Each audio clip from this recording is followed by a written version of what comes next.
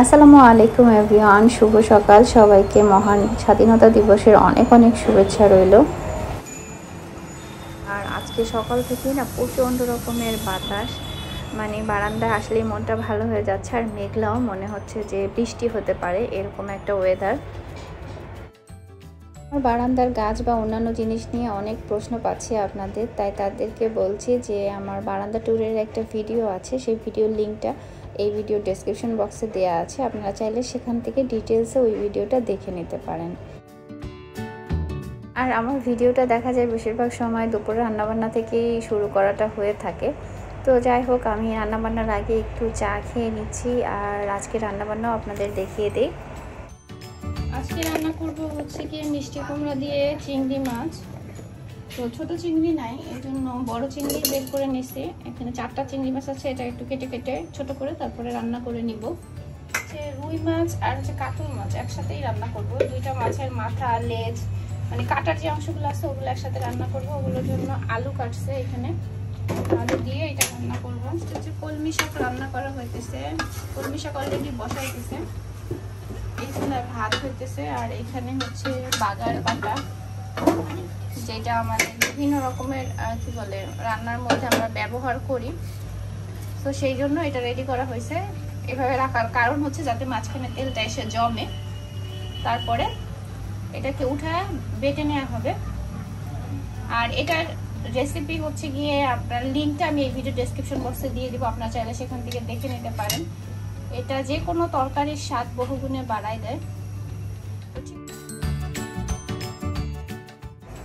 মিষ্টি কুমড়া দিয়ে চিংড়ি মাছ রান্না করার এই রেসিপিটা কয়েকদিন আগের ব্লগেও দেখিয়েছি, তাই আজকে আর ডিটেলস আপনাদের দেখে, দেখাচ্ছি না। আর পাশের চুলায়ও যে রান্না করছি মাছ, সেটাও আসলে কমন রান্না। আমি শেয়ার করেছি হয়তো বা কোনো ভিডিওতে, তাই আজকে আর দেখালাম না। আর আমার জীবন বা জীবনযাত্রার মান আসলে একদমই সাধারণ। তো এখানে আসলে রংচং মাখিয়ে দেখানোর মতো কিছুই নেই। তাই হয়তো বা আপনাদের সাথে নিত্য নতুন রেসিপি বা ভিডিও করার জন্য বিভিন্ন কন্টেন্ট মেক করা আমার হয় না। কারণ ডেইলি লাইফের ব্লগ যেহেতু, তো ডেইলি লাইফে আমি যেভাবে চলি, যা খাই যেমনভাবে রান্না করি, সেটাই শেয়ার করি। তাই ভিডিওর কথা মাথায় রেখে ডেইলি নতুন নতুন রেসিপি করা বা কার্যকলাপ করা সেটা আমার মাথায় আসে না। কারণ ওটা আমার রিয়েল মনে হয় না, ওটা আসলে ফেক মনে হয় আমার কাছে। তো যাই হোক কারণ আমি যখন ব্লগ করতাম না, তখনও কিন্তু আমি দেখা যেত মাসে দু একবার হয়তো নতুন কিছু করতাম। ডেইলি ডেইলি তো আর করা হতো না, এই আর কি। তো ডেইলি লাইফের মিনিংটাই হয়তো বা চেঞ্জ হয়ে যাবে, এই জন্য আর মানে আমি যেমন, ঠিক তেমনটা চলতেই পছন্দ করি। আর সেটার থেকে যদি দুই চার, পাঁচজন মানুষ আমাকে ভালোবাসে, দেখে সেটাই আমার কাছে অনেক বেশি পাওয়া আমার মনে হয়। আর এখানে আজকে মিষ্টি কুমড়ার তরকারিতে আমি হচ্ছে বাগার বাটা দিয়েছি বেশ খানিকটা। মিষ্টি কুমড়ার তরকারি বা যে কোনো ঝোলের তরকারি তারপরে মাছের তরকারিতে বাগার বাটা দিলে খেতে অনেক বেশি ভালো লাগে। মাছের তরকারিটাও আজকে বাগার বাটা দিব।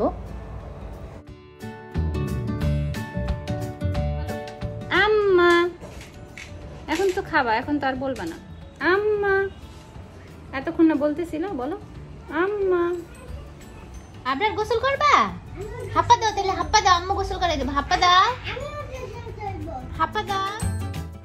আর এখানে আবরারের কাণ্ড দেখেন, আবরারের কোনো কিছু লাগলে সে মানে দেখায়, ইশারায় যে ওটা দেও তাকে। তো ভেজলিনের কৌটাটা আফিফ হচ্ছে গিয়ে নামিয়ে দিয়েছে ওয়ারড্রপের উপর থেকে, আর বাদ বাকি কাজ সে করেছে। মানে ডিব্বার অর্ধেকটার বেশি সে খালি করে ফেলেছে। আর এটা যে ঠোঁটে মাখতে হয় সেটা সে বোঝে বাট সে তো ঠোঁটে মাখতে পারে না সারা মুখে মেখে অবস্থা খারাপ।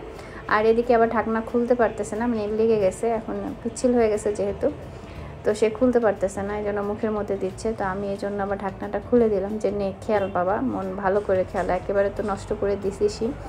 তো এই আর কি, মজা দেখছিলাম ওর। এরপরে বিকেলে দিকে আমরা একটু ঘুরতে যাওয়ার জন্য বের হয়েছিলাম। আফিফুর আব্বু ওর কাজ শেষ করে বাসায় এসেছে, তখনই বিকাল হয়ে গিয়েছে। তো খাওয়া দাওয়া করে পরবর্তীতে আমরা বের হলাম। আর আজকে যে বন্ধের দিন, আমার একদমই মনে ছিল না যে আফিফুর আব্বুর অফিস বন্ধ। তো আমরা আজকে এসেছি জল্লার পার ওয়ার্কওয়েতে।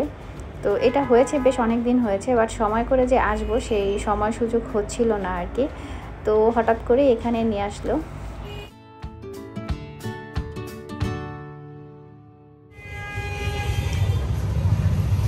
বাইক পার্কিং এর ব্যবস্থা আছে। পার্কিং এ কয় টাকা? ও তাহলে কম আছে। তুমি এই জায়গায় নিয়ে আসবে আমার তো আগে বললে না। তো আমি বললাম যে হঠাৎ করে এখানে নিয়ে আসবা তুমি তো বাসা থেকে বললা না। বাসা থেকে জিজ্ঞেস করেছিলাম কোথায় যাবা বাট সে বলে নাই। তো বলল যে অনেকদিন আগে বলছিল এই জায়গার কথা তো সেটা মনে আছে আর কি।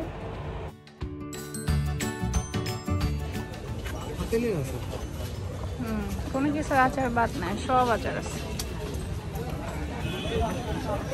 আচার প্রেমী যারা আছেন, তারা গেট থেকে ঢুকেই আচারের দোকানে চলে আসবেন সুরে সুযোগ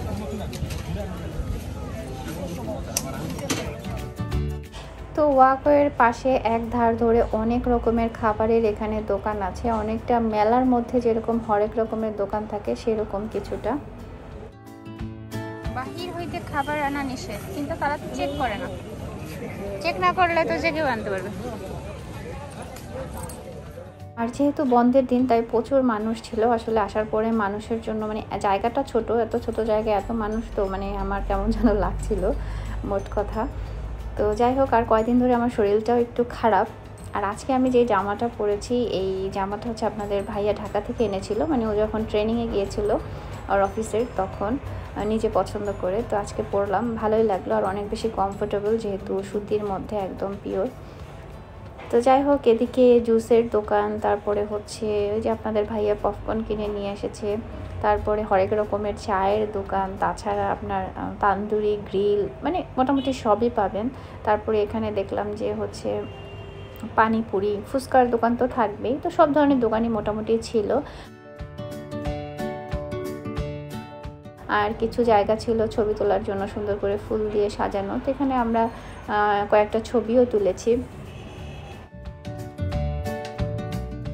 তো এরপরে ঘুরতে ঘুরতে আপনার দেশি কয়েকজন ভাইয়ের সাথে পরিচয় হলো। মানে আসলে চট্টগ্রাম বা সিলেটের তারা যেখানে গিয়ে কথা বলুক না কেন, তাদের জেলার মানুষ কিন্তু ঠিকই বুঝতে পারে।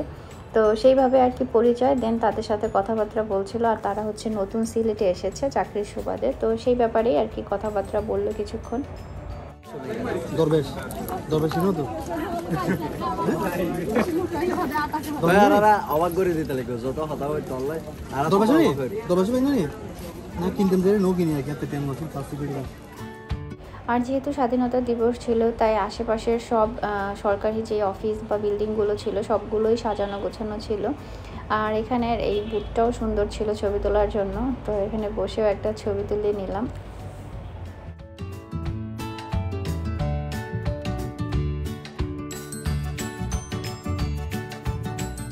আর এখানে হচ্ছে কি একটা শপ দেখলাম, যেখানে সব আপুরা কাজ করছিল। তো দেখে খুব ভালো লাগল যে আপুদের হাতের ঘরোয়া খাবার মানে এখানে খেতে পারবেন এরকম আর কি। আর ওই যে বললাম, স্বাধীনতা দিবসে যেহেতু ছুটির দিন, প্রচুর প্রচুর মানুষ ছিল। আর এখানে তো শেফু দাদাকেও এসে পেয়ে গেলাম। শেফু দাদা বলেন আর কাকা বলেন। তো এই জিনিসটা একটা আকর্ষণ ছিল, জনগণ এই দোকানের সামনে থামছিল। তবে আমার কাছে এই দোকানটা বেশি ভালো লেগেছে, কারণ এখানে একটা গ্রামীণ মেলার যেই মানে ভাব থাকে, সেরকম একটা জিনিস ফিল হচ্ছিল। গ্রামীণ সব জিনিসপত্র এখানে ছিল। যদিও একেবারে মানে সব জিনিস তো নাই। আমরা ছোটোবেলায় গ্রামীণ মেলায় যেসব জিনিস দেখতাম, তো কিছু কিছু জিনিস সেরকম ছিল। আর মাটির জিনিসপত্রও ছিল। তবে মাটির জিনিসপত্রগুলোর আমার কাছে দাম একটু বেশি মনে হয়েছে। সচরাচর ঢাকায় কিন্তু এগুলোর প্রাইস কম। আমি এবার আসার সময় কিছু জিনিস এনেছি, তো সেটার সাথে কম্পেয়ার করেই বললাম। আর হয়তো বা এই জায়গায় দেখে দামটা একটু বেশি হতে পারে। তো ব্যাপার না, ঘুরতে আসলে পছন্দের একটা জিনিস মানে যদি শখের একটা জিনিস পছন্দ হয়ে যায়, নিয়ে নেওয়া যায়। তো এখানে চায়ের দোকানে আমরা চা অর্ডার করলাম, আর এই কুচকি বাচ্চাটাকে খুব ভালো লাগল, ও মাথায় লাইট লাগিয়ে ঘুরতেছে। আর এখানে আসলে অবশ্যই মশার কথা মাথায় রেখে আসবেন, কারণ মশার কামড় ফ্রি তো পাবেনই, আর যদি একটু অন্ধকার জায়গায় দাঁড়ান বা বসেন, তাহলে তো কথাই নাই। আর এই দিকটায় যেহেতু ডোবার মতো, তো প্রচুর পরিমাণে মশা এখানে আছে। তো সেই দিকটা মানে একটু, কি বলে, এটা খারাপ দিক আর কি। তো যাই হোক সব কিছু মিলিয়ে ঘুরে ভালোই সময় কাটলো। আর খুব ছোট্ট একটা জায়গা, তো বেশি সময় লাগে না। হালকা পাতলা একটু বসে গল্প করা, চা খাওয়ার জন্য আসা যায়। তবে এত ভিড় থাকলে মানে এসে ওই মজাটা লাগে না। তো যাই হোক, এখন হচ্ছে আমরা বাসায় চলে যাব। আর সামনের দিকে লাইটিংগুলো খুব সুন্দর, এই জন্য দেখতে ভালো লাগে। তবে ছবি তোলার জন্য ভালোই একটা জায়গা। আপনি দিনের বেলা বা রাতে যে টাইমে আসেন, খুব সুন্দর ছবি তুলতে পারবেন। আমাদের দুই পুচকু ঘুমিয়েছিল, সেই ফাঁকেই আমরা বের হয়েছি আর বাসায় এসেও দেখি যে একজন ঘর থেকে উঠেছে ছোটোজন বড়জন এখনও ওঠেনি।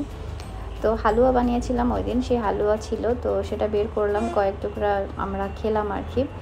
আর এখানে হচ্ছে এই তো দুই ভাই, তারপর আফিফকেও আমি ডেকে তুললাম, নাহলে আবার রাতে দেরি করবে ঘুমাতে। তো উঠেই দুই ভাই খেলতেছে। দুই ভাই মানে মাসাল্লাহ একা একা যখন খেলে তখন ওদের মতো করে ওরা ভালোই সময় কাটায়। আর যখন মারামারি করে তখন ওদের পিছনে আমাদের সময় সব শেষ। মানে এরকমভাবেই চলে। তারপরে আলহামদুলিল্লাহ ওরা সুস্থ আছে, আমরা সবাই সুস্থ আছি। এটাই সবচেয়ে বড় কথা।